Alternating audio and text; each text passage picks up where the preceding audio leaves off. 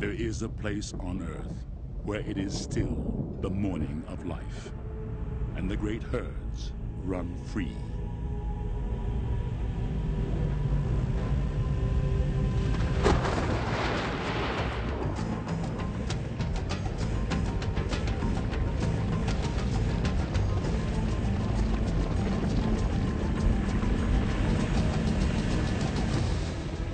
Life streams across a land suspended in time.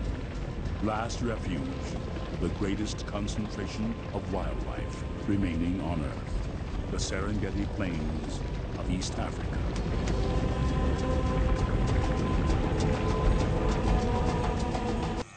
The equation of life on the Serengeti is simple. Herbivores eat plants. Carnivores eat herbivores.